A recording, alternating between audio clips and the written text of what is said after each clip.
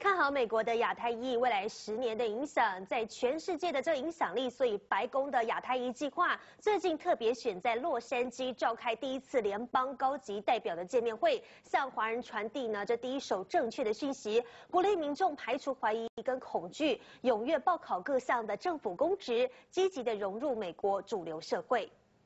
回顾电影《零零七情报员》对抗恐怖分子出生入死、伸张正义的经典场面，这是许多美国人谈到政府公职的第一印象。然而，在第一次联邦级别的会议上，联邦代表表示，可不是每天都精彩。因此，第一步要做的就是破除民众的误解。We encourage people to please go to the website and which is uscis.gov and to come and speak to us in our offices. Further questions, you know, we have local offices in 83.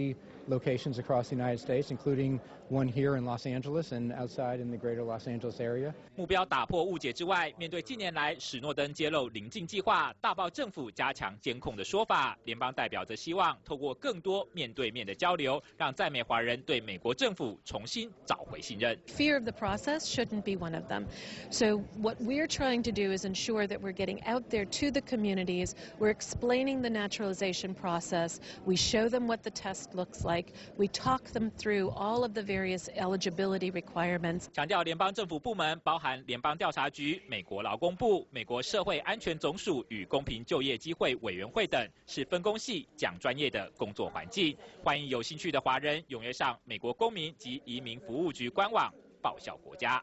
东闻新闻李仲尧、殷宏文、叶宏志在洛杉矶的。